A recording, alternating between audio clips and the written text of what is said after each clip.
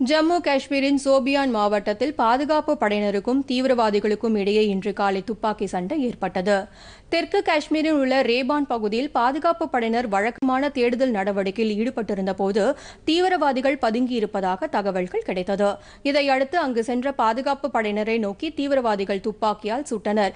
பாதுகாப்பு படையினர் நடத்திய பதிலடி தாக்குதலில் ஒரு தீவிரவாதி கொல்லப்பட்டதாக ஜம்மு காஷ்மீர் காவல்துறையினர் தெரிவித்தனர். அந்த பகுதியில் தொடர்ந்து தேடுதல் வேட்டை தீவிரப்படுத்த தீவிரப்படுத்தப்பட்டுள்ளது